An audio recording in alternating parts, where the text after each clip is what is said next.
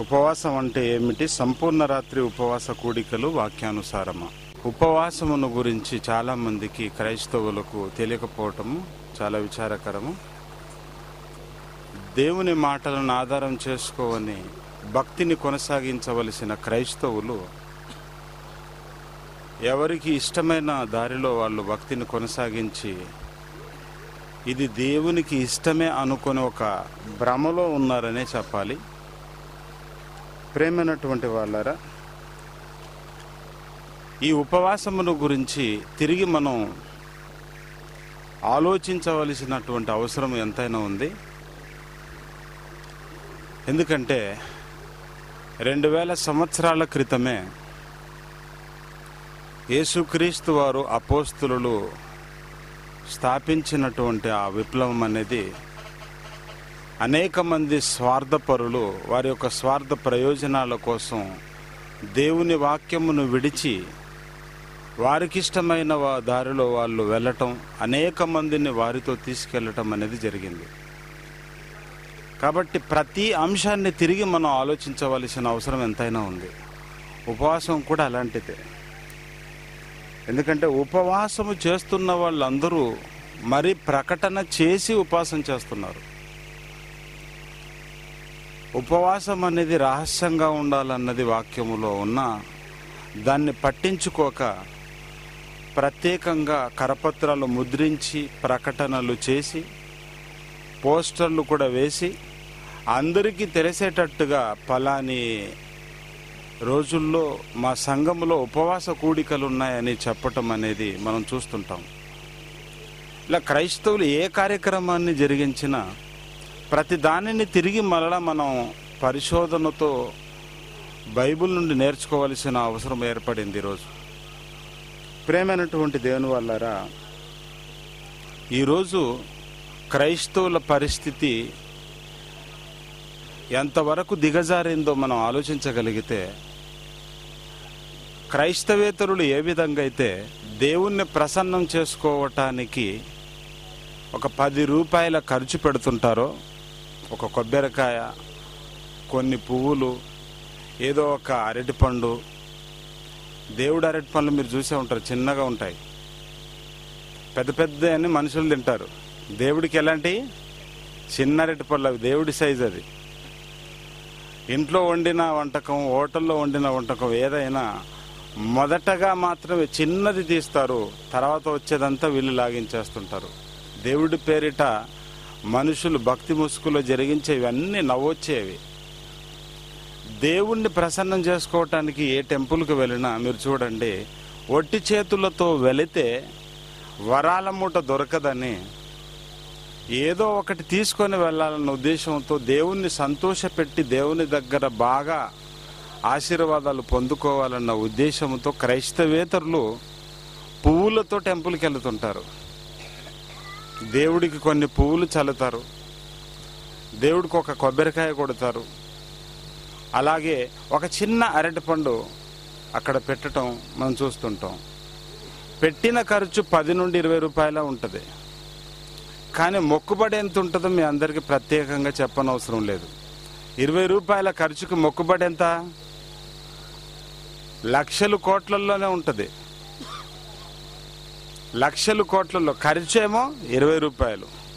ఇలా దేవుణ్ణి సంతోషపెట్టడానికి పెట్టిన ఖర్చు మాత్రం ఇరవై రూపాయలు దేవుని దగ్గర ఆశించేది మాత్రం లక్షల కోట్లల్లోనే ఉంటుంది. ఇది బయటి వారిది. అయితే ఇది చూసిన క్రైస్తవులు వాళ్ళ దగ్గర నుంచే ప్రతిదీ నేర్చుకుంటున్నారు ఈ మధ్యకాలంలో. ప్రతి దానిని బయటి వారి దగ్గర నుంచే నేర్చుకుంటున్నారు. ఆనాటి క్రైస్త మరి ఇస్రాయేళ్ళకు ఈనాటి క్రైస్తవులకు దేవుని ప్రజలుగా భూమి మీద ఉన్న వీళ్ళిద్దరికి ఏ తేడా లేదండి. ఆ రోజు క్రై మరి ఇస్రాయేళ్ళ పరిస్థితిని మనం ఆలోచించగలిగితే దేవుడు ఐగుప్తు నుండి అనేకమైన ఆచారాల్లో నుండి అన్యజనుల మధ్యలో నుండి విడిపించి కానాను దేశానికి తీసుకొని వెళ్ళిన తర్వాత తన మాటలను మోషే ద్వారా ఇస్రాయేళ్ళకు ఇచ్చినప్పుడు ఆ మాటల్లో దేవుడు ఏం కోరుకున్నాడో ఇస్రాయేళ్ళ భక్తి ఎలా ఉండాలనుకుంటున్నాడో ఒకసారి ద్వితీయోపదేశ కాండంలో తన ప్రజలుగా తన కోసం బ్రతుకుతున్న వారితో హెచ్చరించిన మాటలను ద్వితీయోపదేశ కాండం పన్నెండవ అధ్యాయం నాలుగవ వచనాన్ని చూడగలిగితే వారు తమ దేవతలకు చేసినట్టు మీరు మీ దేవుడైన యహోవాను గూర్చి చేయకూడదు. వారు వారి దేవతలకు చేసినట్టు. అంటే వారు అంటే ఎవరిక్కడ? వారు అంటే అన్యజనులు. వారు చేసినట్టు మీరు చేయకూడదు. మీరు అంటే ఎవరిక్కడ? ఇస్రాయేలుడు వారు అన్యజనులు. దేవతలను పూజించేవారు. దేవుడంటే ఎరగనివారు. మనుషులు వారి సొంత ఇష్టాల ప్రకారంగా వాళ్ళ ఆలోచన మేరకు వాళ్ళు దేవుని సంతోష పెట్టాలని వాళ్ళు విధులను కొన్ని కట్టడలను. మనుషుల ఇష్ట ఇష్టాన్ని బట్టి వాళ్ళు రాసుకున్నవన్నీ వాళ్ళు పెట్టుకున్న ఆచారాలు. అందుకే వారు చేసినట్టు మీరు అంటే ఇస్రాయేలు మీరు చేయకూడదు. అన్యుల ఆ దేవతలకు వారు చేసినట్టు ఇస్రాయేల్ చేయకూడదు అని దేవుని మాటలు వాళ్ళ చేతిలో పెడుతున్నప్పుడు ప్రత్యేకంగా హెచ్చరిక జారీ చేశాడు ఆ రోజు ఇస్రాయేళ్ళతో అయితే ఇస్రాయేల్ అవన్నీ పట్టించుకోలేదండి. అన్యజనుల దగ్గర నుంచి అన్ని ఆచారాలన్నీ నేర్చుకుంటున్నారు. అవే జరిగించారు. ముందు జాగ్రత్తగా దేవుడు గమనించి ఇస్రాయేళ్ళారా నా ప్రజలుగా మీరు బ్రతుకుతున్నవారు. నా కోసం మీరు భక్తిని జరిగిస్తే భక్తి కార్యక్రమాలు వారి వలె మాత్రం ఉండకూడదు అని కోరుకున్నాడు దేవుడు. తర్వాత? తర్వాత చదండి మీ దేవుడైన యహోవా మీ సమస్త గోత్రములలో తన నామమును స్థాపించుకొనుటకు ఇక ఈ అధ్యాయం అంతా మీరు చూడగలిగితండి. ఇస్రాయల్లతో దేవుడు తన విధులను తన మాటలను ఇచ్చి ఆ మాటలన్నీ మీ హృదయంలో ఉంచుకోవాలి. అంటే బైబుల్ అంతా ఇస్రాయేల్ యొక్క గుండెల్లో ఫదిలంగా ఉండాలని కోరుకున్నాడు దేవుడు. గుండెల నిండా బైబుల్ నింపుకొని భక్తిని జరిగించవలసిన ఇస్రాయేల్ బైబిల్ను పక్కన విసిరేశారు. వారి సొంత ఇష్ట ఇష్టాల ప్రకారంగా భక్తిని జరిగించటం ప్రారంభించారండి. అందుకే వారి భక్తిని చూసి యషే యషయ గారి యొక్క కాలానికి వచ్చేటప్పటికీ ఇస్రాయేలుల యొక్క భక్తిని చూసి మురిసిపోతున్నాడో ఆయన అసహించుకుంటున్నాడో దేవుని యొక్క ఆలోచన చూడండి. ఏషయ ప్రవక్త కాలానికి వచ్చిన తర్వాత ఇస్రాయేలుల భక్తిని గురించి ఏమంటున్నాడో చూడండి అక్కడ. ఏషయ గ్రంథము ఇరవై తొమ్మిదవ అధ్యాయము పదమూడవ వచనాన్ని చూడండి ప్రియులరా. ప్రభు ఇలాగూ సెలవిచ్చున్నాడు. ప్రజలు నోటి మాటతో నా యొద్దకు వచ్చుచున్నారు. పెదవులతో నన్ను గనపరుచుచున్నారు కానీ తమ హృదయమును హృదయం మాత్రం దూరంగా ఉందట. హృదయంలో ఏముండాలని దేవుడు కోరుకున్నాడు ఆ హృదయము దేవుని దగ్గర లేదు ఇప్పుడు. హృదయంలో దేవుని మాటలు ఉండాలని దేవుడు కోరుకుంటే హృదయాన్ని ఎక్కడో పెడుతున్నారు. దేవుని దగ్గరికి మాత్రం ఖాళీగా వస్తున్నారట. హృదయం లేని మనుషులుగా వస్తున్నారు. దేవుని మాటలకు చోటు లేని వారుగా నిర్లక్ష్య స్వభావంతో వస్తున్నారు దేవుని దగ్గరకు వస్తున్నారు ఒట్టి మాటలతోనట. వారు పెదవులతో నన్ను గనపరుచుచున్నారు కానీ వారి హృదయము నాకు దూరంగా చేసుకున్నారు అంటున్నాడు. ఒట్టి మాటలే. ఒట్టి మాటలే. కానీ దేవునికి ఇష్టమైనట్టుగా భక్తి లేదన్నది దేవుని యొక్క ఆలోచనలో మనకు కనిపిస్తుంది ఇస్రాయల్ జరిగిస్తున్న భక్తి వారు ఏది జరిగించినా వారి స్వార్థ ప్రయోజనాల కోసమే కనిపిస్తుంది మనకు అక్కడ భక్తి పేరుతో వాళ్ళు జరిగించిన ప్రతి కార్యక్రమం వెనకాల ఇస్రాయిలుల యొక్క స్వార్థం దాగి ఉందండి. దేవుని సంతోషం కోసం చేసేవాళ్ళు ఎవరు లేరు. అందుకే దేవుడు ప్రత్యేకించి చెబుతున్నాడు వారు మానవుల విధులను బట్టి నేర్చుకున్నారు వచ్చి నా దగ్గర ఇక్కడ ప్రయోగించాలని చూస్తున్నారు. వట్టి మాటలతో నన్ను గనపరుస్తున్నారు కానీ హృదయం మాత్రం ఎక్కడో పెట్టేస్తున్నారు. హృదయంలో నా మాటలు నింపుకొని నా మాటల ప్రకారంగా బ్రతకవలసిన నా ప్రజలు నా మాటలను విడిచిపెట్టారు వారి స్వార్థం కోసం వాళ్ళు ఆలోచిస్తున్నారు అని దేవుడు చాలా బాధపడిపోతున్నాడండి. ఇది ఇస్రాయేళ్ళ కాలంలో. ఆ ఇస్రాయేలీయులనే వారి భక్తిని అసహించుకున్న దేవుణ్ణి పట్టించుకోకుండా ఈరోజు క్రైస్తవ జనాంగం ఇస్రాయేల్లో ఎవరో ఉపవాసం చేశారు కనుక మేము కూడా చేస్తామని చెప్పటం చాలా విచారకరం. ఇస్రాయేల్ యొక్క భక్తిని గురించి మెచ్చుకున్నట్టుగా మనం చూడటం లేదు ఇక్కడ. కానీ ఇస్రాయేలు ఎవరెవరో ఎక్కడొక్కడో బైబిల్లో చే ఉపవాసం చేసినట్టుగా ఉందని ఉపవాసం చేసిన వారి యొక్క ఆ సందర్భాలను వీళ్ళు తీసుకొని బోధిస్తూ సంఘాలలో బోధకులు నేర్పిస్తున్నారు. ఇది ఆయన చేశాడు ఫలాని దేవుడు ఆయనకి ఇచ్చాడు. ఫలాన్ని వాళ్ళు చేశారు బైబిల్లో. ఇదిగో దేవుడి దగ్గర నుంచి వాళ్ళకి ఇలాంటి ఆశీర్వాదాలు దొరికాయి. అని ఇవే నేర్పిస్తున్నారు. కానీ ఉపవాసాన్ని బట్టి దేవుడు బైబిల్లో ఎక్కడ ఆనందపడినట్టుగా మనకు కనిపించదు. ఇక వీరు చెప్పే ఉపవాసాలన్నీ కూడా ఇస్రాయేల్ సంతతిలో ఎవరో ఒకరు భక్తుల జీవితాల్లో వాళ్ళు జరిగించిన ఉపవాసమును గురించే చెప్తున్నారండి. కొన్ని ఉపవాసాలను గురించి ప్రత్యేకంగా మనం ఆలోచించగలిగితండి. కొన్ని ఉపవాసాలను గురించి. అంటే ఎవరో చేశారని వీళ్ళు చేయటం గురించి ముందే దేవుడు అన్నాడు. వారు చేసినట్టు మీరు చేయకూడదన్నాడు ఏదైనా కానీ. కానీ ఈరోజు సమాజంలో ఏదో జరుగుతుండటం చూసి అలాగే మనకెందుకు ఒక పండుగ ఉండకూడదు? అలాగే వాళ్ళు భక్తి పేరున కొన్ని కార్యక్రమాలు జరుగుతు జరిగిస్తున్నారు కనుక మనకి ఎందుకు ఉండకూడదు అని ఈ మధ్య కాలంలో అండి క్రైస్తవులు చేసేవి చాలా చిత్ర విచిత్రంగా ఉంటున్నాయి. మీ అందరికీ తెలుసు స్వామి మాల వేస్తారు కదా బయటి వాళ్ళు. ఆ మాల అనేది ఈరోజు క్రైస్తవులు కూడా వేస్తున్నారు. మాల మాదిగా ఎక్కడ లేదు బైబిల్లో కానీ ఇవేం పట్టించుకోకుండా అక్కడ మాల వేశారు గనక మేము కూడా వేస్తామని బయటి వారిని చూసి వీళ్ళు కూడా మాల వేస్తున్నారు. అక్కడ కాషాయ దుస్తులతో మాల అక్కడ నల్ల దుస్తులతో మాల ఇంకో రంగు ఇంకో రంగు. ఇలా అవన్నీ చూసి వీళ్ళు ఒక రంగు ఏర్పాటు చేసుకున్నారు. వీళ్ళు కొన్ని రోజులు ఏర్పాటు చేసుకున్నారు. వీళ్ళు చెప్పులు లేకుండా తిరుగుతున్నారు. తెల్ల బట్టలు వేసుకుంటున్నారు. మెడలో ప్లాస్టిక్ సిలో వేసుకుంటున్నారు. అలా ఏసుమాల అని దానికి పేరు పెట్టి నలభై రోజులు దీక్ష చేస్తున్నారు. నలభై రోజులు దీక్ష చేసి ఎక్కడికో ఒక చోటికి నాగపట్నము ఎక్కడో మెదక్ అని పుణ్యక్షేత్రాలు మన రాష్ట్రంలో ఎక్కడెక్కడ ఉన్నాయి దగ్గరలో ఎన్నుకొని అక్కడికి వెళ్ళి వస్త్రాలు విప్పేసి మరల రంగు వస్త్రాలు వేసుకొని వచ్చేస్తున్నారు. ఇలా బయటి వారిని చూసి అలా మనకెందుకు ఉండకూడదు అని ముఖ్యంగా ఇవన్నీ పుట్టించేది దుర్మార్గులు ఆర్సీఎం వాళ్ళే. ముందు ఏదైనా కంపు వచ్చిందంటే ఎక్కువగా వాళ్ళ నుండి ఉంచొస్తుందండి.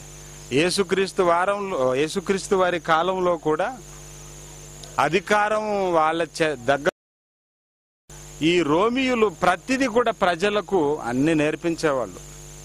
ఇప్పటికీ వీళ్ళ దగ్గర ఆస్తులు తప్ప ఏమి లేవు. కోట్ల రూపాయలు స్థలాలు తప్ప ఏమి లేవు. వాక్యం ఏమి లేదు. అంత వాళ్ళు విగ్రహారాధనలో ఉండి బయట వాళ్ళు ఎలా చేస్తున్నారో అందులో వీళ్ళు కూడా దేవుని పేరిట ఇదే బైబిల్ను పట్టుకొని ఇవన్నీ ఆచారాలన్నీ క్రైస్తవులకు నేర్పిస్తున్నారండి.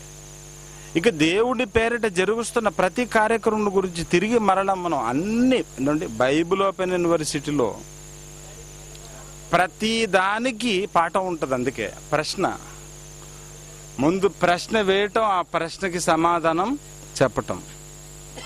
ఆ ప్రశ్నకి బయట వాళ్ళు ఎవరు కూడా సమాధానం చెప్పలేరు. యోబు గారికి దేవుడు ప్రశ్న వేసినట్టుగా ముందు మనం ప్రశ్న వేయటం ఆ ప్రశ్నకి సమాధానం ఎవరు? చెప్పకపోవటం మన దగ్గరే ఆ సమాధానం లభిస్తుంది.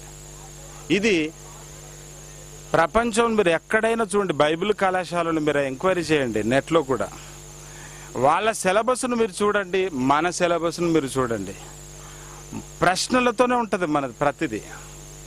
జైశాలి గారు గత ముప్పై ఐదు సంవత్సరాల క్రితం ఆలోచించి బైబిల్ ఓపెన్ యూనివర్సిటీ స్థాపించినప్పుడు పంతొమ్మిది వందల ఎనభై ఐదో సంవత్సరంలో ఇవన్నీ తిరిగి చూశాడు. చాలా ప్రసంగాలు మీరు వినే ఉంటారు.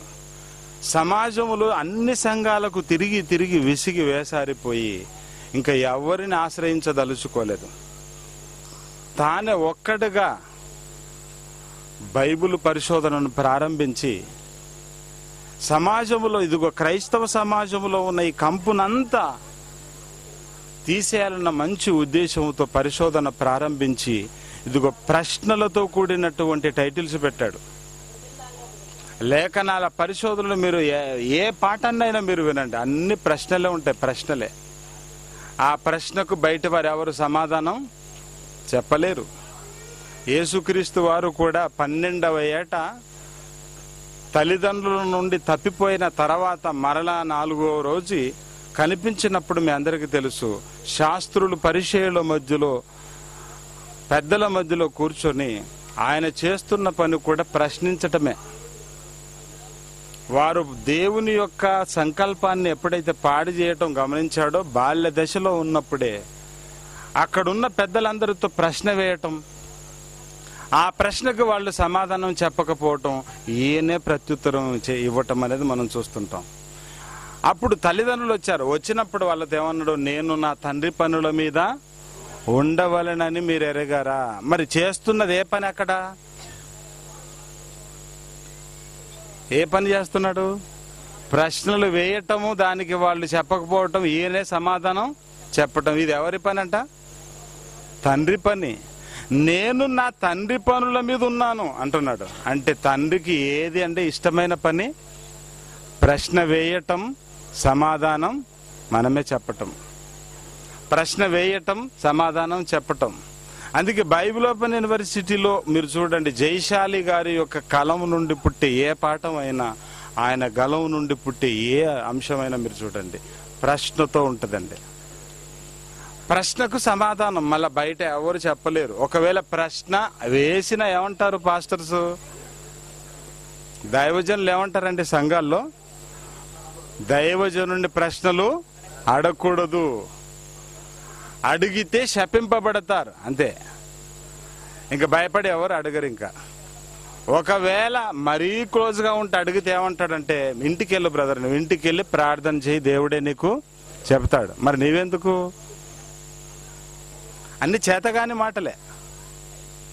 మీరు ఆలోచించండి. ఎవరు చెప్పలేనివి అన్ని మన దగ్గర.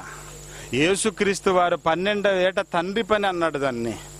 ఈరోజు కూడా ఇక్కడ జరుగుతున్నది బైబుల్ ఓపెన్ యూనివర్సిటీలో ఎక్కడ ఏ కళాశాలలో?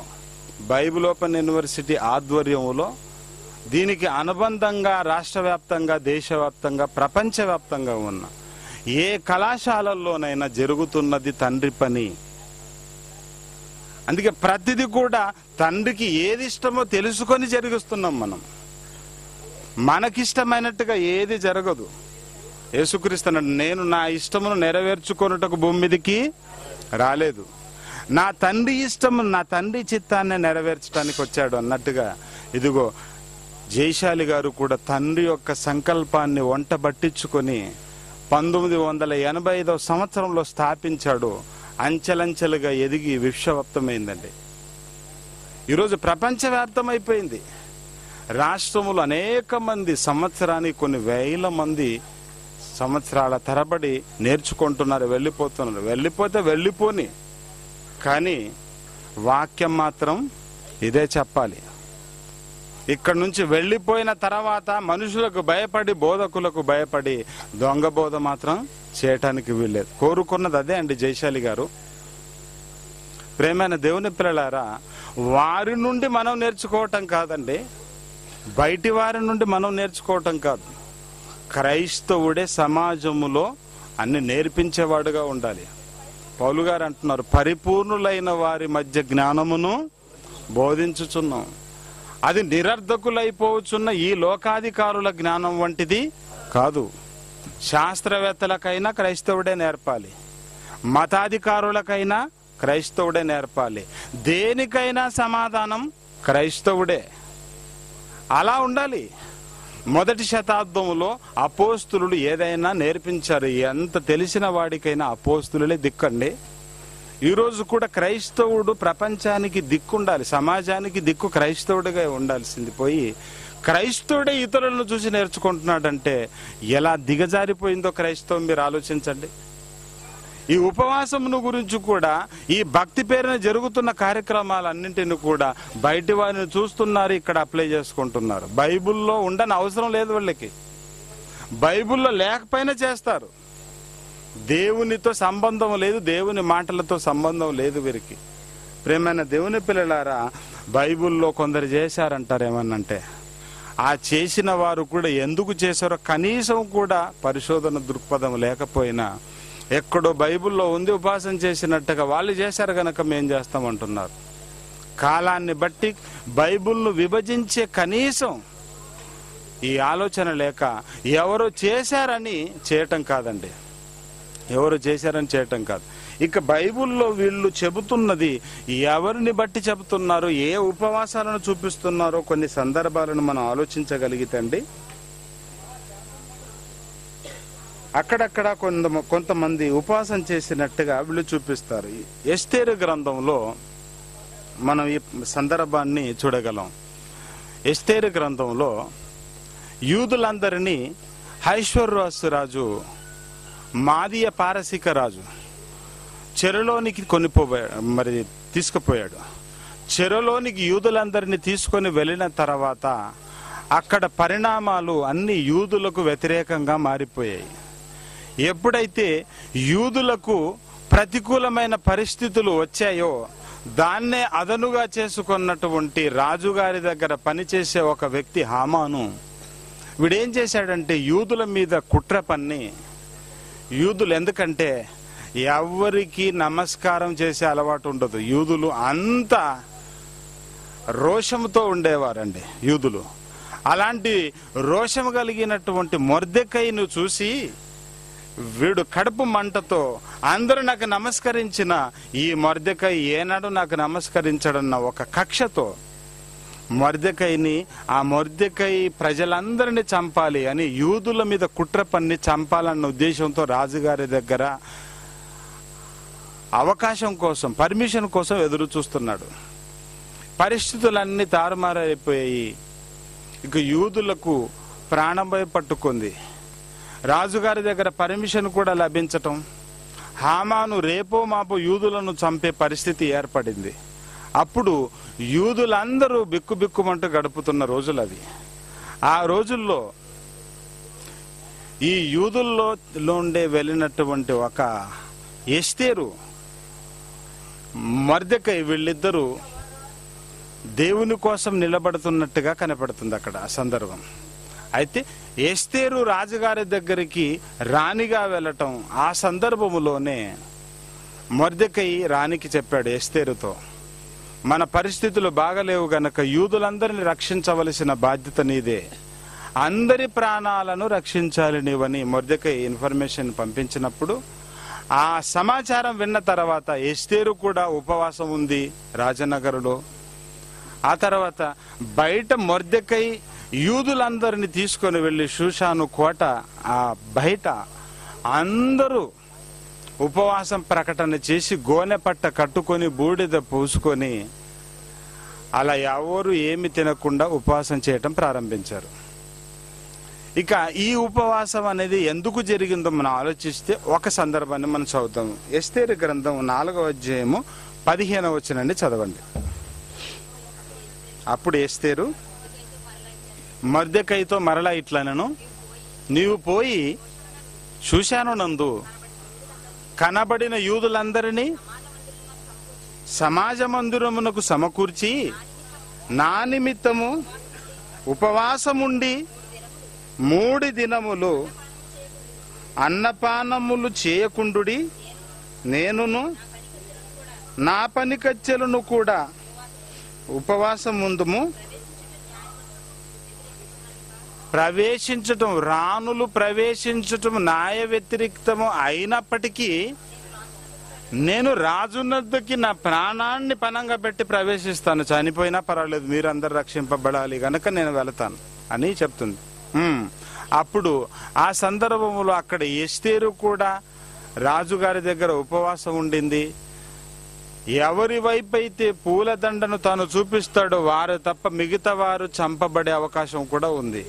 ఎవరినైతే ఆయన ఎన్నుకొని ఆ రోజు పిలుస్తాడో వాళ్ళు మాత్రం లోపలికి రావాలి రాజుగారి దగ్గరికి.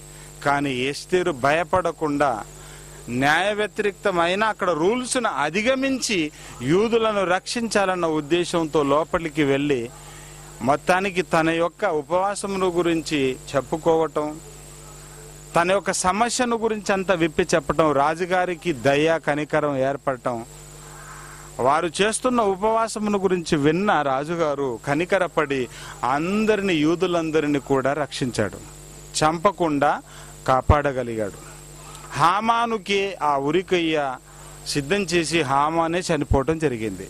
ఇక్కడ ఈ సందర్భం అంతా మరి క్రైస్తవులు చూపించి వీళ్ళు ఉపవాసం ఉంటున్నారు కానీ ఇక్కడ జరిగిన ఉపవాసమును బట్టి మనం ఆలోచించగలిగితే ఏస్తేరు కానీ యూదులందరూ కానీ ఎందుకు ఉపవాసం చేశారండి అక్కడ? దేవుని కోసం చేశారా? వాళ్ళ ప్రాణభయం కోసం అండి.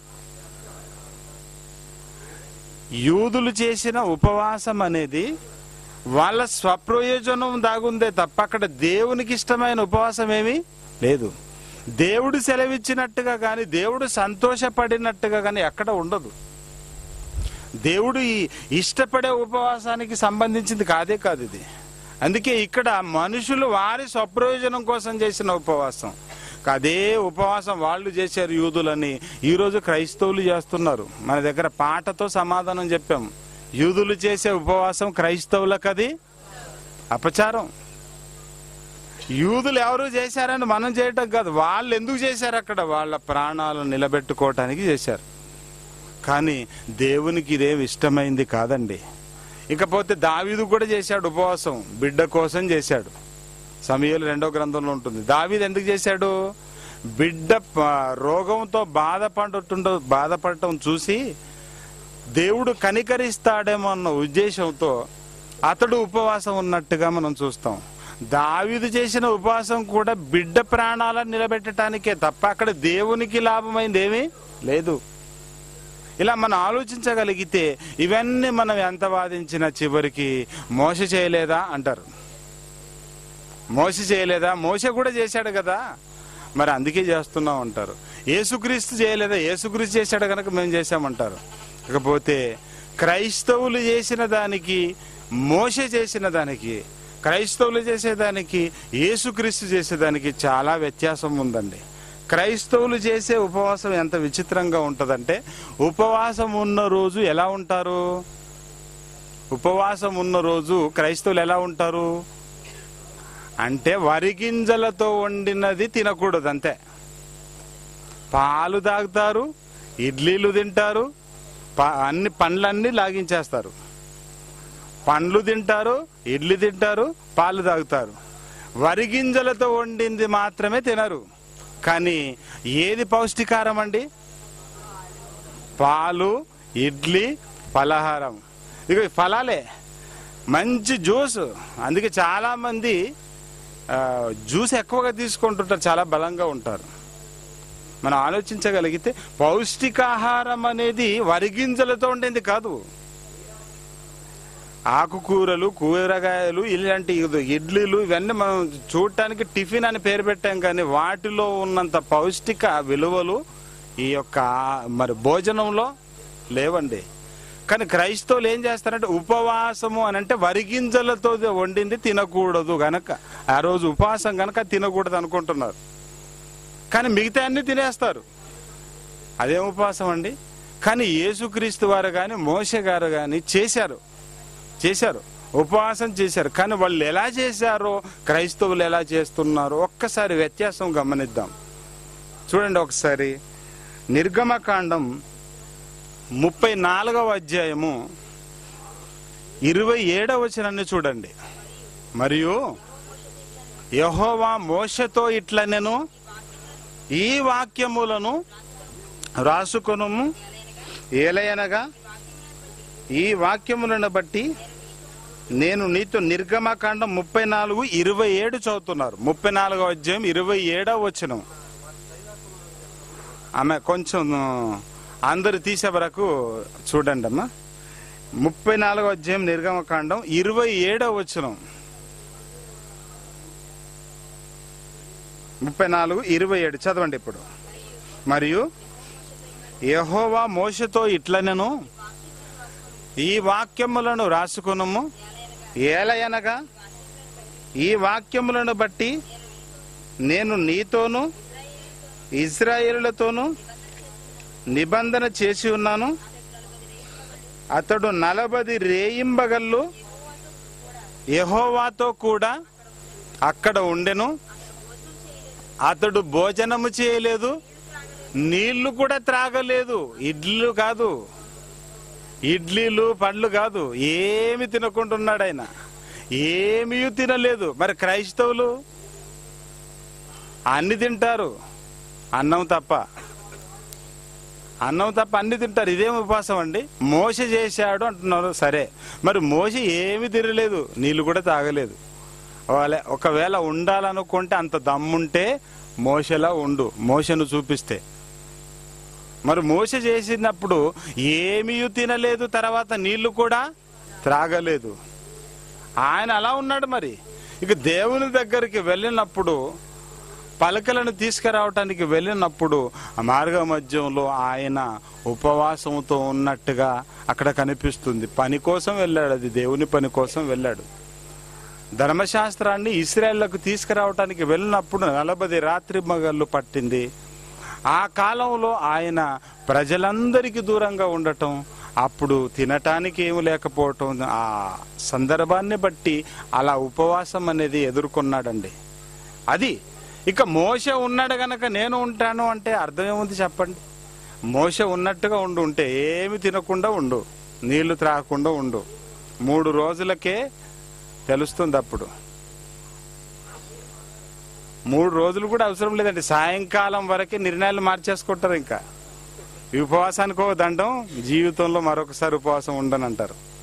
ఏమీ తినకుండా ఏమి తాగకుండా ఉండగలమా? ఉండలేమండి. ఇక యేసుక్రీస్తును చూపిస్తుంది. యేసుక్రీస్తు కూడా ఎలా ఉన్నాడు? చూడండి లూకాస్వార్త నాలుగవ అధ్యాయం రెండవ వచనం. అపవాది చేత శోధింపబడుచుండెను. ఆ దినములలో ఆయన ఏమియు తినలేదు ఏమియు తినలేదు. చూసారా? ఏమియూ తినలేదు. వాళ్ళని చూపిస్తే కనుక నువ్వు ఇలా ఉండాలి మరి ఇప్పుడు. కాబట్టి క్రైస్తవులు ఎవరో ఎక్కడో బైబిల్లో చేశారు గనక మేము కూడా ఉపవాసం చేస్తాము అని అంటే వాళ్ళు ఉన్నట్టుగానే ఉండే ఆ దమ్ము ఆ ధైర్యం ఉంటే గనక ఉండొచ్చు. కానీ అలా ఎవరు ఉండరు. కాబట్టి మనకిష్టమైనట్టుగా మనం జరిగించడం కాదు. ఒక విషయాన్ని మాత్రం ఇక్కడ గమనించాలి. ఏదైనా మనము భక్తి పేరున జరిగించేది అంతా దేవునికి ఇష్టమైనదై ఉండాలి. దేవునికి ఇష్టమైనదై ఉండాలి. అంటే ముందు దేవునికి ఇష్టం కానిది చేయకూడదు. ఉదాహరణకి సౌలు ఇస్రాయేళ్ళ యొక్క మొదటి రాజుగా అభిషేకింపబడిన తర్వాత చాలా రోజులు బాగా మరి ఇస్రాయేళ్ళకు మంచి పరిపాలనను అందించాడండి. ఈ సౌలును అమాలేకీయుల దగ్గరికి పంపించాడు దేవుడు. అమాలేకీయుల మీదకి పంపించినప్పుడు అమాలేకీయులను బొత్తిగా నాశనం చేసి రావాలి అని చెప్పాడు దేవుడు. సౌలు వెళ్ళాడు అమాలేకీయులను నాశనం చేశాడు. అక్కడున్న వాళ్ళందరినీ చంపి వారికి ఉన్నటువంటి క్రొవ్విన దూడలను గొర్రెలను అన్నింటినీ పట్టుకొని వచ్చాడు. సమీయలను ఎదుర్కొన్నాడు. సమయలు అప్పుడు అడిగాడు ప్రవక్త ఏంటి నువ్వు చేసింది? అన్నప్పుడు నేనేం చేశాను? దేవుడికి ఇష్టం కనుక క్రొవ్వినవన్నీ తీసుకొని వచ్చాను వీటితో బలి బలర్పించాలనుకుంటున్నాను అన్నాడు. అప్పుడు సమయలు అన్నాడు బలులర్పించుట కంటే దేవుణ్ణి మాట వినుట అది. వెరీ గుడ్ బాగా తెచ్చావు? అన్నాడండి. పర్వాలేదు చాలా ఇష్టం దేవునికి క్రొవ్వినవంటే ఆ బలులు అర్పించేసి దేవుని సంతోష పెట్టనలేదు దేవుడు చెప్పిందే చేయాలి తప్ప నీకు ఇష్టమైనట్టు చేయకూడదు. నువ్వు రాజువైనా సామాన్యుడవైన ఎవరైనా అంతే. దేవుని ముందు ఎవరైనా అంతే.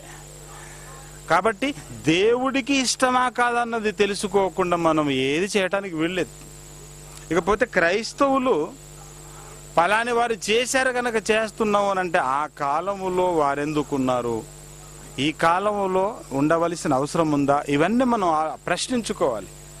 ప్రశ్నించుకొని దేవునికి ఇష్టమైనది అయితేనే చేయాలి తప్ప మనం మనకి ఇష్టం అయితే చాలు మనకు నచ్చితే చాలు చేయొచ్చు అని అనుకుంటే అది పొరపాటు. కాబట్టి దేవుడు ఈ కాలంలో ఉపవాసం కోరుకుంటున్నాడా? కోరుకుంటే ఎలాంటి ఉపవాసం ఇష్టం అది కూడా మనం చూడాలి. కాకపోతే ముందుగా ఉపవాసమే దేవుడికి ఇష్టం లేదంటే ప్రత్యేకంగా సంపూర్ణ రాత్రి ఉపవాస కూడికలని ప్రకటన చేయటం మరీ విడ్డూరంగా ఉంది. ఉపవాసమును గురించే కనీసం అవగాహన లేదు వీళ్ళకి. ప్రకటన చేసి మరీ చేస్తున్నారు. ఇక్కడ ఎక్కడైనా బైబిల్లో ప్రకటన చేసి ఎవరైనా ఉపవాసం ఉన్నారా అంటే అసలు ఉపవాసముల గురించి యేసుక్రీస్తు వారు ప్రత్యేకించి ఏమన్నాడో ఒక్కసారి చూద్దాం. ఎలా ఉండాలి ఉపవాసం అంటే మతేసు వార్త ఆరవ అధ్యాయం పదహార వచనం చూడగలిగితే మత్తేసు వార్త ఆరవ అధ్యాయం పదహార వచనంలో మీరు ఉపవాసము చేయునప్పుడు వేషధారుల వలె దుఃఖముకులై ఉండకుడి. మత్స్వార్త ఆరవ అధ్యాయం పదహారో వచనం చదువుతున్నారు. ఆరవ అధ్యాయం పదహారో వచనం. మరలా చదవండి. మీరు ఉపవాసము చేయునప్పుడు వేషము వేసుకోకండి అన్నాడు. చాలామంది కనిపించేటట్టుగా చేస్తారు. కనిపించేటట్టుగా వికారంగా ముఖం పెట్టుకోవటం అలా జుట్టును కూడా దువ్వుకోకుండా తలస్నానం చేయకుండా అందరికీ తెలిసేటట్టుగా కనపరుచుకుంటూ మరీ ప్రకటించు చెప్పుకుంటూ చెప్పుకుంటూ చేస్తుంటారు. అలా అందరికీ ప్రకటించి చెప్పుకునే వాళ్ళను గురించి ఏమంటున్నారంటే మనుషులకు కనబడవాలనని మీరు చేయకూడదు అంటున్నాడు. వేషధారుల వలె దుఃఖముఖులై ఉండకుడి తాము ఉపవాసము చేయుచున్నట్టు మనుషులకు కనబడవలెనని అసలు మనుషులకు కనబడకూడదు అని అంటే ఏకంగా ప్రకటనే చేస్తున్నారు. ఏమన్నట్టు మనుషులకు కనబడవలనని చేయకూడదు అంటున్నాడు ఎలా జరగాలి ఉపవాసం? చదవండి. వారు తమ ఫలం పొంది ఉన్నారు. ఉపవాసము చేయుచున్నట్టు మనుషులకు కనబడవలనని గాక ఎలా ఉండాలంట? సస్పెన్స్. ఉపవాసం అనేది రహస్యం. అంటే ఎవరికి తెలియకుండా జరగాలి. ఎవరికి తెలియకుండా జరగాలి అని అంటే ప్రకటన చేస్తున్నారు. అంటే దేవుని వాక్యంతో సంబంధం లేదు వీళ్ళకి. సంపూర్ణ రాత్రి ఉపవాస కూడికలు పలాని రోజుల్లో. ఇదిగో మా సంఘంలో ఉపవాస కూడికలు జరగబోతున్నాయి. అందరూ రావాలి. ప్రకటన చేశారు. ఇప్పుడు ప్రకటన చేశారంటే రహస్యమే ఉంది ఉపవాసము రహస్యంగా ఉండాలి అన్నాడు. రహస్యంగా ఉండాలన్నది దేవుడి దేవుడు కోరుకుంటే క్రైస్తవులు ప్రకటనే చేస్తున్నారంటే రహస్యం ఉందంటే బయలుపరచబడింది. కాబట్టి ఇప్పుడు దేవునికి నచ్చదు ఇంకది. ఎందుకంటే బలులు అర్పించుట కంటే దేవుణ్ణి ఆజ్ఞ గైకొనటమే శ్రేష్టం. దేవుని ఆజ్ఞ దేవునికి ఇష్టమైంది ఎలాంటి ఉపవాసమో మనం ఆలోచించగలిగితే రహస్యంగా ఉండే ఉపవాసం ఇష్టం. ప్రకటనే చేశారు డైరెక్ట్గా అంటే ఇది దేవునికి నచ్చదు అని చెప్పొచ్చు మనం. ప్రేమైన దేవుని పిల్లలారా రహస్యంగా జరగాలి. అందుకే ఉపవాస ప్రకటనలు ఎవరైనా ప్రకటించారు అని అంటే పాపం వీడికి మత్స్యవార్త ఆరు పదహారు తెలియనట్టుంది అనుకోవాలి. అంటే వాళ్ళకి వాక్యం తెలియదు అనుకుంటారు తెలుసు వాక్యం వెనకాల ఉన్న భావం తెలియదు. వాక్యం తెలియకపోవటం ఏంటి? ఏ సందర్భంలో ఏ వాక్యం వాడుకోవాలో బాగా తెలుసు. వాళ్ళకి మనకంటే ఎక్కువగా. ప్రయాణానికి ఒక వాక్యం పండుగకి ఒక వాక్యం పుట్టినరోజుకి ఒక వాక్యం పెళ్ళికి ఒక వాక్యం చావుకు ఒక వాక్యం అమ్మాయి పుష్పవతి అయితే ఒక వాక్యం పుట్టినరోజుకు ప్రతి సందర్భానికి ఒక్కొక్క వాక్యం సెలెక్ట్ చేసుకుంటారు. వాక్యం తెలియని వాళ్ళు ఎవరు లేరు. వాక్యం అందరికీ తెలుసు. కానీ ఏం తెలియదండి? వాక్యం వెనకల ఉన్న భావము దేవుని యొక్క ఆలోచన వాళ్ళకి తెలియదు.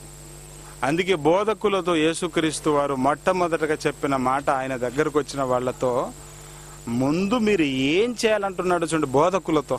మతేశ్వ వార్త తొమ్మిదవ అధ్యాయం పదమూడవ వచనం. అయితే మతేశ్వ వార్త తొమ్మిదవ అధ్యాయము పదమూడవ వచనం చదువుతున్నారండి. అయితే నేను పాపులనే పిలువచ్చి తిని గాని నీతిమంతులను పిలవ రాలేదు కనుక కనికరమునే కోరుచున్నాను గాని బలిని కోరను. అను వాక్య భావం ఏమిటో మీరు వెళ్ళి నేర్చుకోండి. మీరు వెళ్ళి నేర్చుకోండి. ఏం నేర్చుకోమన్నాడు ముందు? వాక్యం నేర్చుకోమన్నాడా? వాక్యం భావం నేర్చుకోమన్నాడా? వాక్యం మాత్రం నేర్చుకున్నారు దాని వెనకల భావము తెలియదు. అందుకే కంఠస్థ వాక్యాలు. ఎక్కడ ఏ రెఫరెన్స్ ఉందో అంతా తెలుసు. తెలియని వాడేవాడు? అందరికి బోధకులు అందరికీ తెలుసండి. వాక్యం తెలుసు కానీ వాక్యం వెనకాల ఉన్న భావము తెలియదు. ఇక్కడ రహస్యం అన్నాడు. రహస్యం అన్నాడు. మత్తే ఆరు పదహారులో. రహస్యంగా ఉండాలి ఉపవాసం అన్నాడు. రహస్యంగా ఉండమన్న వాక్యపు భావం వీళ్ళకి అర్థం కాక ప్రకటన చేసేస్తున్నారు. ఉపవాసం అన్న పదం చాలు వీళ్ళకు. ఉపవాసం అని దొరికితే చాలండి ఇంకా. ఉపవాసం అన్న పదం ఉంది కాబట్టి మేము ఉంటాం. కానీ ఆ వాక్యభావం తెలుసుకోలేదు. అందుకే పొరపాటు పడుతున్నారండి. ఇలా ఆలోచిస్తే రెండు వేల సంవత్సరాలుగా క్రైస్తవ్యం అనేది గాడి తప్పి వెళ్ళిపోయిందండి. సమాజం మధ్యలోకి సత్యము కంటే అబద్ధమే ముందుగా వెళ్ళిపోవటం ఈ దొంగ బోధకులు ముందుగా వెళ్ళి వాళ్ళలో ప్రవేశించి ఇవన్నీ నేర్పించటం వలన ఈరోజు సత్యము చెబుతున్నా నమ్మే పరిస్థితుల్లో లేరు క్రైస్తవులు. అస్సలు పట్టించుకోరండి. ఇన్ని రోజులుగా మా తాత ముత్తాతల నాటి నుండి జరిగిస్తున్నారు మా సంఘంలో. ఈ ఉపవాసం మానమంటే మానతామా? నీ వయసు అంతా అంటారు. ఒకవేళ మనం వెళ్ళి సత్యాన్ని చెప్పినా ఏమంటారు ఇప్పుడు? నీ వయసు ఎంత? నా అనుభవంలో కూడా నీ వయసు లేదు నువ్వు చెప్తే నేను వినాలా అంటారు. అలా అనుకుంటే వయసును బట్టి సత్యాన్ని నిర్ధారించాలి అనుకుంటే అండి మన పూర్వీకులు ఎన్నో తప్పులు చేశారు.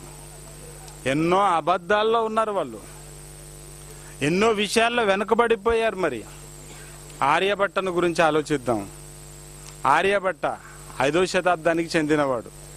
మన భారతదేశంలోనే పుట్టిన వ్యక్తి ఇతడు. పాటలిపుత్ర నివాసి. ఇతడు ఐదో శతాబ్దానికి చెందినటువంటి వాడు ఖగోళ శాస్త్రవేత్త. మరి ఖగోళమును గురించి పరిజ్ఞానం ఉన్న ఇతడు ఏం చెప్పాడు? మనకంటే ముందే పుట్టాడు. కానీ ఏం చెప్పాడు ఇతడు? భూమి ఎలా ఉందని చెప్పాడండి? బల్లపరుపుగా ఉందని చెప్పాడు.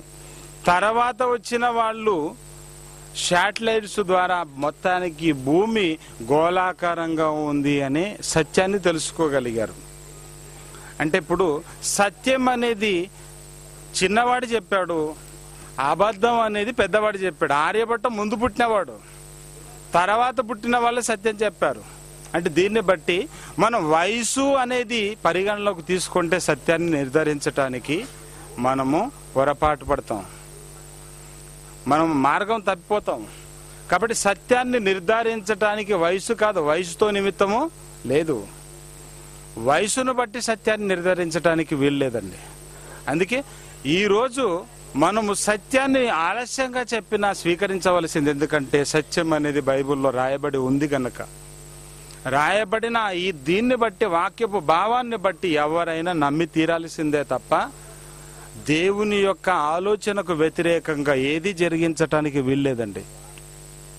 ప్రేమైన దేవుని పిల్లలారా ఈ ఉపవాసమును గురించి ఇంకా మనం ఆలోచించగలిగితే ఉపవాసం అనేది రహస్యంగా ఉండాలి. ఉపవాసం అనేది దేవునికి ఇష్టంగా ఉండాలి. ఉపవాసం అనేది మనుషుల స్వార్థము దాగి ఉండకూడదు. ఇస్రాయేల్ ఎన్నిసార్లు ఉపవాసము జరిగించినా వాళ్ళతోనే ఒక సందర్భంలో ఏమన్నాడో జకరియా గ్రంథము ఏడవ అధ్యాయము ఐదవ వచనంలో దేశపు జనులందరికీ యాజకులకును నీవి మాట తెలియజేయవలను. ఈ జరిగిన డెబ్బది సంవత్సరములు ఏటేటా? ఐదవ నెలను ఏడవ నెలను మీరు ఉపవాసం ఉండి దుఃఖము సల్పుచూ వచ్చినప్పుడు మీరు నా యందు భక్తి కలిగియే ఉపవాసము జరిగించారా మీరు అని ప్రశ్న వేస్తున్నాడు. తర్వాత మరియు మీరు ఆహారము తిన్నా కూడా మీ ప్రయోజనం కోసమే తిన్నారు ఉపవాసం ఉన్న మీ ప్రయోజనం కోసం ఉన్నారు. తర్వాత పానము చేసినను మీ స్వప్రయోజనం కోసం అంటే తాగినా స్వప్రయోజనమే తిన్నా స్వప్రయోజనం ఇవన్నీ మానేసినా స్వప్రయోజనమే. మీరు భక్తి కలిగే చేశారా అంటున్నాడు. ఆలోచించండి. దేవుడు ఉపవాసము చేసిన వాళ్ళతో తిన్న వాళ్ళతో ఏది జరిగించినా వాళ్ళతో ఆయన కోరుకున్నది ఒక్కటే. మీ స్వప్రయోజనం దాగి ఉండకూడదు అన్నాడు. ఈ మనుషుల స్వప్రయోజనం దాగి ఉన్న ఉపవాసం దేవునికి ఇష్టమైంది కాదు. ఇప్పుడు అసలైన దాంట్లోకి వెళుతున్నాం మనం. అసలైన దాంట్లోకి వెళుతున్నాం. ఉపవాసం అనేది ఎలా ఉండాలో దేవుడు ఇక్కడ చెప్పాడు. మనుషుల స్వప్రయోజనం ఉండకూడదు. మనుషుల స్వార్థంతో ఉపవాసం చేయకూడదు. యోనా గ్రంథంలో కూడా నినువే పట్టణస్తులు చేశారు. యోనా ప్రకటన చేయడానికి వెళ్ళాడు. నినువే పట్టణం అనేది నాశనం అవుతుంది అన్నప్పుడు వాళ్ళు చేశారు.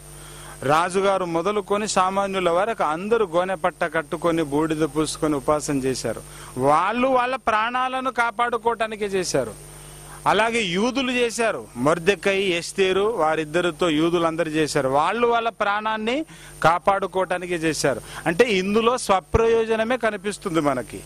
ఇవన్నీ మనం ఆలోచిస్తున్నప్పుడు దేవుడు కోరుకున్న ఉపవాసానికి వ్యతిరేకంగా చేశారు వాళ్ళు చేసిన వాళ్ళంతా. కానీ క్రైస్తవులు చేసే ఉపవాసం ఎలా ఉండాలి అంటే స్వార్థం అనేది ఉండకూడదు అందులో. స్వప్రయోజనం అసలే ఉండకూడదు. వరాల మూట కోసం ఉపవాసం చేయటం కాదు.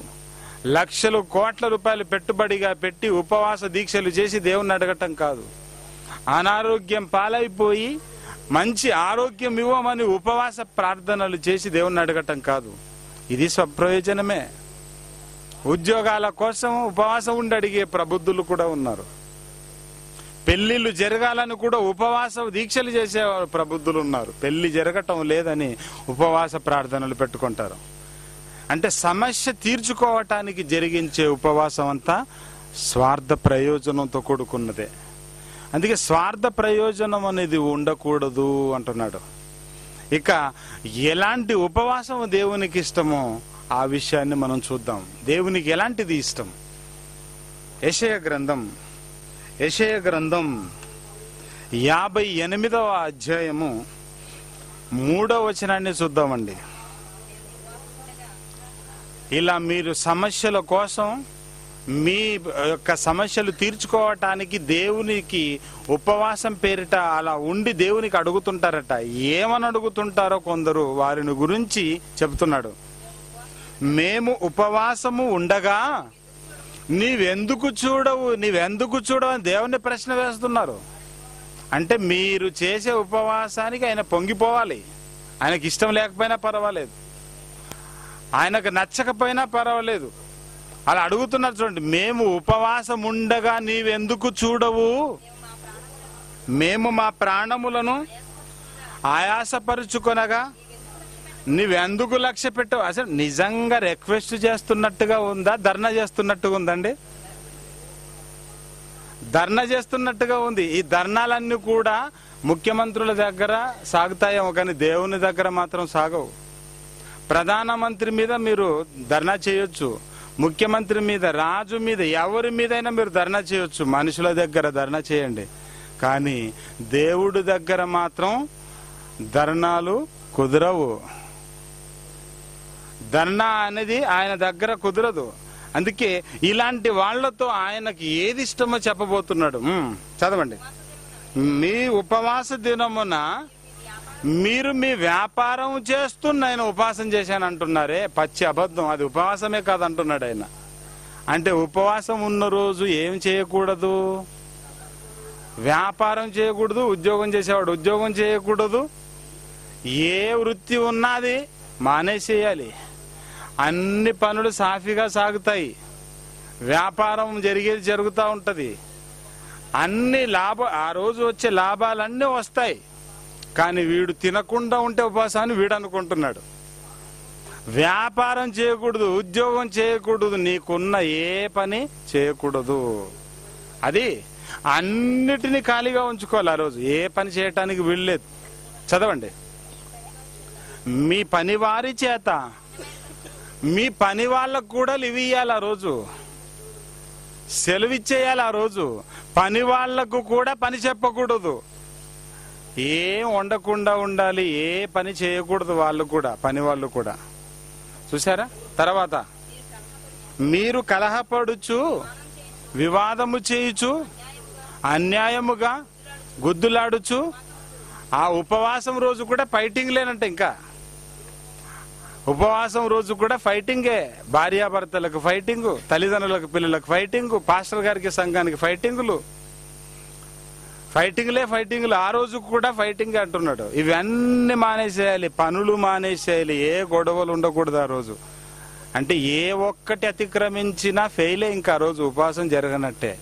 తర్వాత మీ కంటతోని పరమున వినబడున్నట్లుగా మీరు ఇప్పుడు ఉపవాసం ఉండరు. అట్టి ఉపవాసము నాకు అనుకూలమా? మనుష్యుడు తన ప్రాణమును బాధపరుచుకొనవలసిన దినము అట్టిదేనా? ఒకడు జమ్ము వలె తల వంచుకొని గోనె పట్ట కట్టుకొని బూడిదపరుచుకొని కూర్చుండుట ఉపవాసమా? అట్టి ఉపవాసము యహోవాకు ప్రీతికరమని మీరనుకొందురా అనుకుంటున్నారు.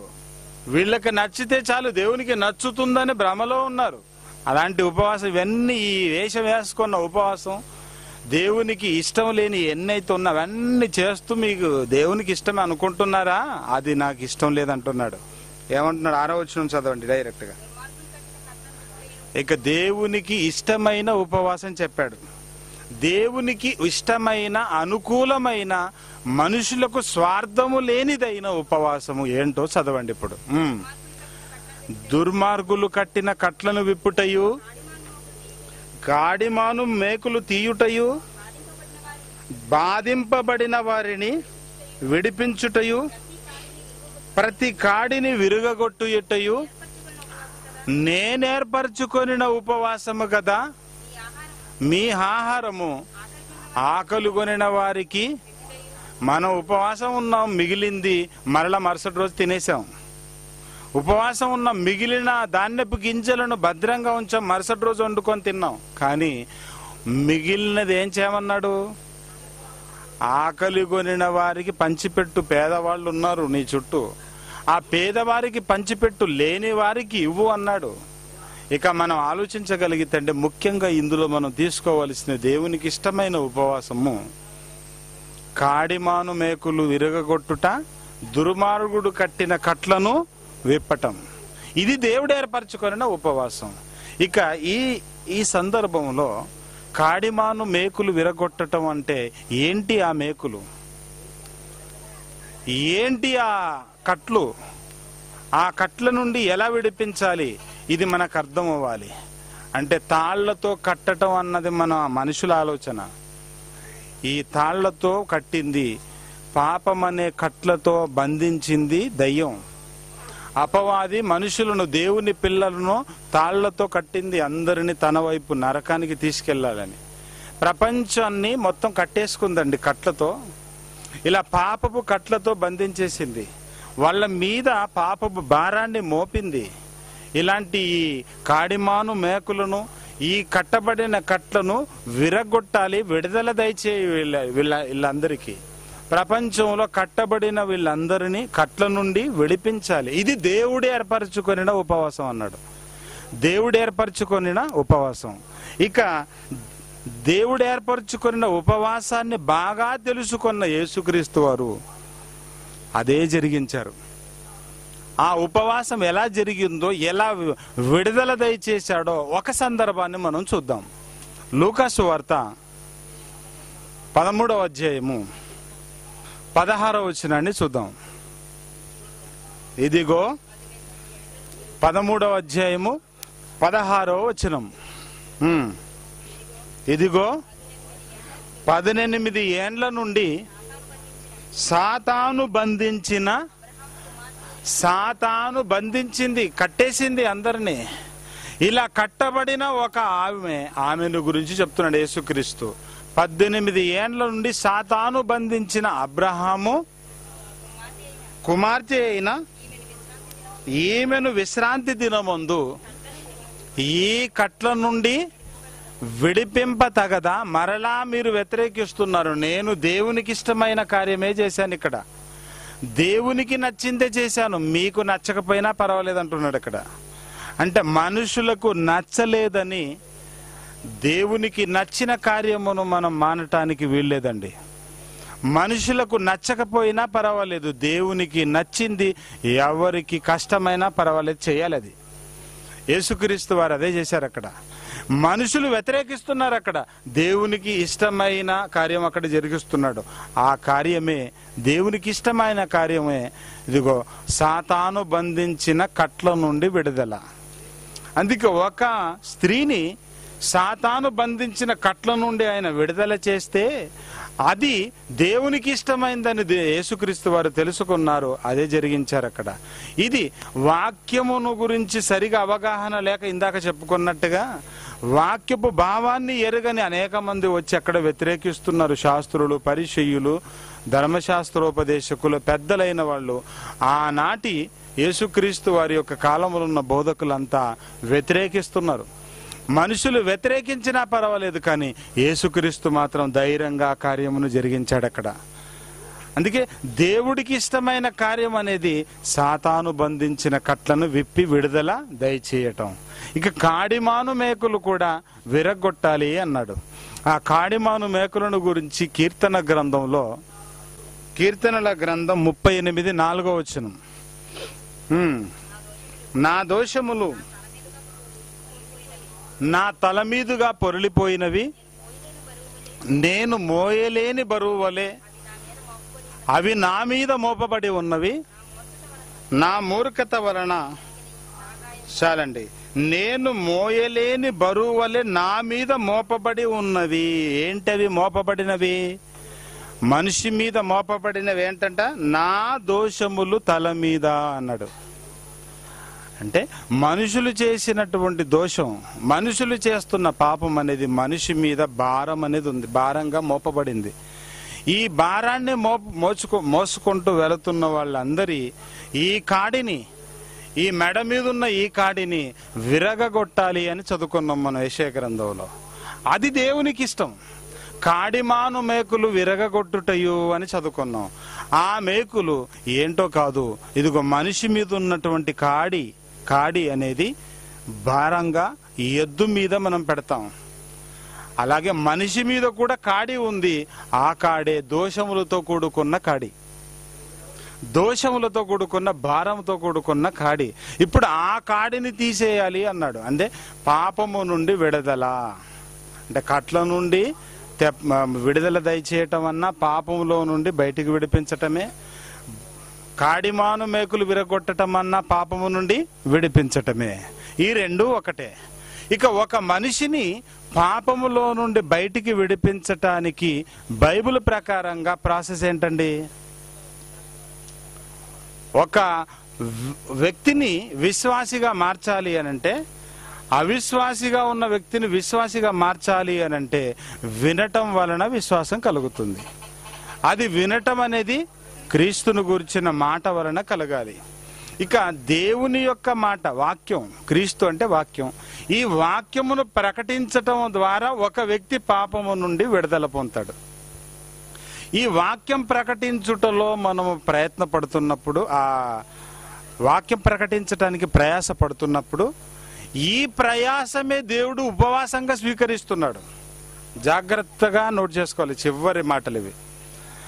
సువార్త ప్రకటించటముతో దేవుడికి ఇష్టమైనటువంటి కార్యం జరుగుతుంది. పాపములో నుండి అనేక మంది విడుదల పొందుతారు.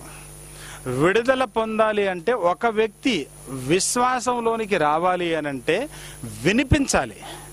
అది సువార్త అది వాక్యము. వాక్యము వినిపించటం వలన పాపపు కట్ట నుండి విడుదల లభిస్తుంది. ఓకే? ఇప్పుడు ఈ పాపపు కట్ల నుంచి విడుదల లభించాలి అని అంటే మనం సువార్త ప్రకటించాలి. సువార్త ప్రకటిస్తున్నప్పుడు అనుకోకుండా జరిగేదే అదే ఉపవాసం. నీ సమయాన్ని సువార్తకు వెచ్చించటం ద్వారా నీ సమయముతో ఉపవాసం నీ ఆరోగ్యాన్ని ఖర్చు పెట్టడం ద్వారా నీ ఆరోగ్యముతో ఉపవాసం. జాగ్రత్తగా మీరు వినాలి. నీ ఆరోగ్యము అనారోగ్యంగా నువ్వు మారితే ఆ రోజు సువార్తలో కదా అనారోగ్యం ఏర్పడిందంటే ఆ ఆరోగ్యం పనంగా పెట్టి సువార్త చేసావు గనక అది ఉపవాసమే. ఇక ఉపవాసం మర మనం ఇంకా కొన్ని లోతుల్లోకి వెళ్ళి ఆలోచిస్తే అండి సువార్త పనిలో బాధ్యతగా మనము ఆ సువార్త పని కోసం మనం ఆర్థిక సహాయాన్ని చేయటానికి మన ఒంటి మీద ఉన్న నగలను సైతము సువార్తకి ఇచ్చాము అని అంటే నీ చెవులకు ఉపవాసమే. చెవుల రింగులు ఇస్తే చెవులకు ఉపవాసమే. నీ మెడలో గొలిసిస్తే మెడకు ఉపవాసమే. నీ బట్టలు కొనాల్సిన డబ్బులను నీవు ఇచ్చావనంటే నీ ఒంటికి ఉపవాసమే. ఇలా ఆలోచిస్తే నీవు దేన్ని త్యాగం చేసినా ఆ నీ ఒంట్లో ఉన్న అవయవాలకు ఉపవాసం అది. అసలైన ఉపవాసం ఇది. ఉపవాసం అనంటే ఏదో మనం మనకు నచ్చినట్టుగా చేయటం కాదు ఉపవాసం. ప్రేమైన దేవుని పిల్లలారా దేవునికి ఇష్టమైన ఉపవాసం ఎలా ఉండాలన్నాడు? రహస్యమందున్న మీ తండ్రి మాత్రమే చూడాలి అని. అంటే సస్పెన్స్. ప్రకటన చేయకూడదు. ప్రకటన చేసి చేసేది ఉపవాసమే కాదు. సువార్తకు వెళ్ళినప్పుడు ఎదుర్కొన్న ఎదుర్కొన్న ఆ ఉపవాసమే అసలు సిసలైన ఉపవాసం. అందుకే పౌలు గారి యొక్క సువార్త యాత్రలో తాను ఎదుర్కొన్న ఉపవాసం గురించి చూద్దాం.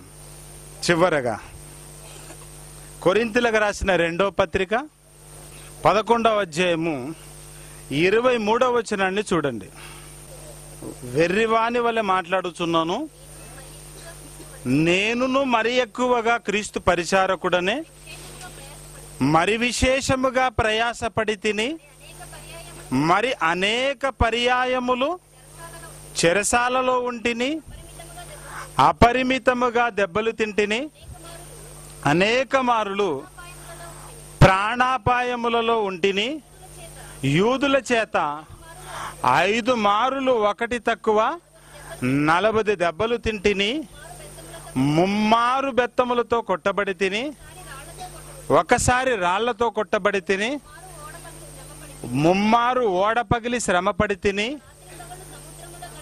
ఒక రాత్రింపగలు సముద్రములో గడిపి తిని అనేక పర్యాయములు ప్రయాణములలోనూ నదుల వలనైన ఆపదలలోనూ దొంగల వలనైన ఆపదలలోనూ నా స్వజనుల వలనైన ఆపదలలోనూ అన్నజనుల వలనైన ఆపదలలోనూ పట్టణములో ఆపదలలోను అరణ్యములో ఆపదలలోనూ సముద్రములో ఆపదలలోనూ కపట సహోదరుల వలన ఆపదలలోనూ ఉంటిని ప్రయాసముతోనూ కష్టములతోనూ తరచుగా అంటున్నాడు. తరచుగా అంటే అనేక రాత్రులు నిద్రలేని రాత్రులు గడిపాడు సువార్తకు వెళ్ళినప్పుడు.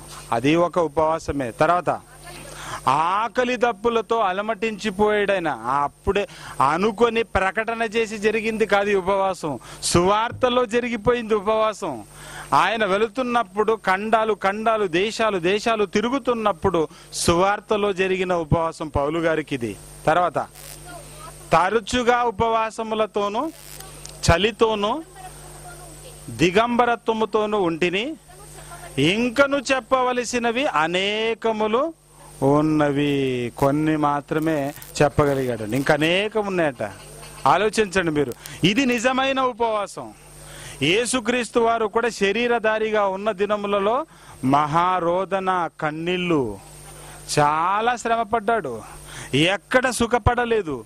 తండ్రి ఇష్టం ఏంటో ఆయనకు తెలుసు ఆయన తెలుసుకున్నాడు గనక తనకు ఇవ్వబడిన శరీరముతో సువార్తలో అనేక మందిని రక్షించటానికి ఎదుర్కొన్నాడు ఉపవాసం. తర్వాత వచ్చిన పౌలు గారికి చేసిన ఉపవాసం కూడా సువార్తలో భాగంగా జరిగిందే తప్ప ప్రకటించి మరి అందరికీ తెలిసేలా ఎప్పుడు చేయలేదు. ఇకపోతే వీళ్ళు చేసిన ఉపవాసం అనేది స్వార్థంతో కూడుకున్నది కాదు. వీళ్ళు చేసిన ఉపవాసం అన్నది స్వార్థం ఏమి లేదు ఇందులో. వీళ్ళు ఏదో ప్రాణాలను నిలబెట్టుకోవటానికో వీళ్ళు ఏదో వరాల మూట దేవుని దగ్గర అడగటానికో ఇలా దేవుడికి ఏదో సంతోషపెట్టి అలా అడుక్కొని వీళ్ళేదో సాధించుకోవాలన్నది ఇక్కడ స్వార్థం అనేది ఏది కనిపించలేదండి.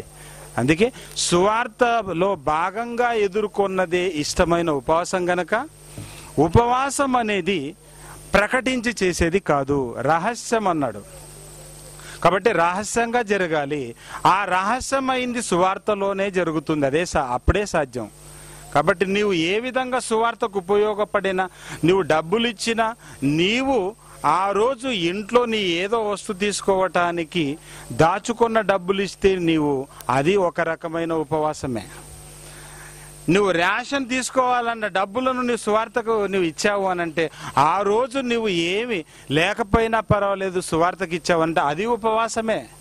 ఉపవాసం అనేది సువార్తలో భాగంగా రావాలి తప్ప మనకు మనముగా మనకు మనముగా మన ఇష్ట ప్రకారంగా చేసి స్వార్థం కోసం చేసేది మాత్రం అది ఉపవాసమే కాదు. ఎప్పుడు చెప్పండి? ఉపవాసం అనేది ప్రకటించి చేయవచ్చా? చేయకూడదు. ప్రకటించి చేస్తే అది రహస్యం ఏమి లేదు. అలా అలా బయలుపరచబడింది గా గనక అందులో దేవునికి ఇష్టం లేని ఉపవాసమేది కాబట్టి ప్రకటించి జరగకూడదు. ఉపవాసం అనేది దేవునికి ఇష్టంగా జరగాలి. దేవునికి ఇష్టమైన ఉపవాసం ఆయన పిల్లలను అనేక మందిని పాపపు కట్ల నుండి విడిపించాలి. అలా విడిపించటానికి సువార్త ప్రకటిస్తే విడిపించబడతారు. సువార్త ప్రకటించటానికి వెళ్ళినప్పుడు నీవు చేసిన ప్రతి త్యాగం అనేది ఉపవాసానికే వస్తుంది. అది దేవుని దగ్గర ప్రతిఫలం మనకు లభిస్తుంది. భూమి మీద మనం వరాల మూట కోసం చేసేది ఉపవాసమే కాదు. ప్రార్థించుకుందాం.